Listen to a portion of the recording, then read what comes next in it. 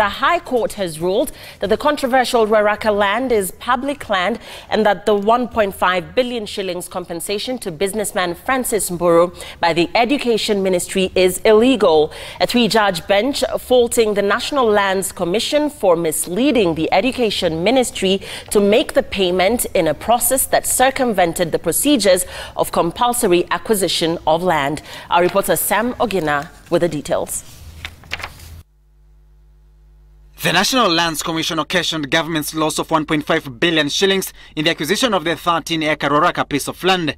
A three-judge bench ruling has indicted NLC for misleading the Education Ministry in paying businessman Francis Mburu to acquire land where Drive-In Primary and Ruaraka High Schools sit. Despite the sixth interested party insisting on due diligence being followed, the applicant did not do this.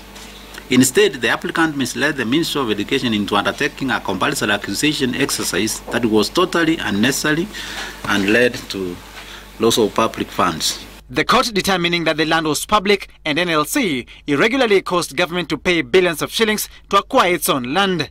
The judges ruled that the commission flouted the law in acquisition of the land by predetermining the land value even before valuation had been carried out. The applicant asked the sixth interested party to set aside 3,269,046 before the valuation of the land to be acquired was done.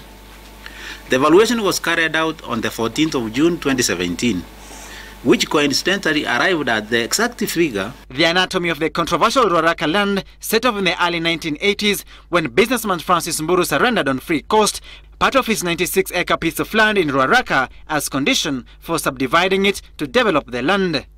30 years later, Mburu claimed ownership of the 13-acre piece of land he apparently had surrendered. At NLC, the former commission played a central role in the land scam. Former chairman Mohamed Sazuri allegedly helping advance Francis Mburu's claim.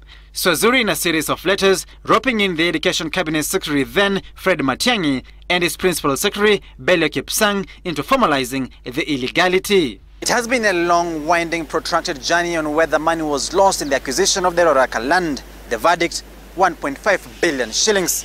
And the then Education Cabinet Secretary Fred Matiang'i allegedly oversaw an illegality where government acquired land belonging to itself.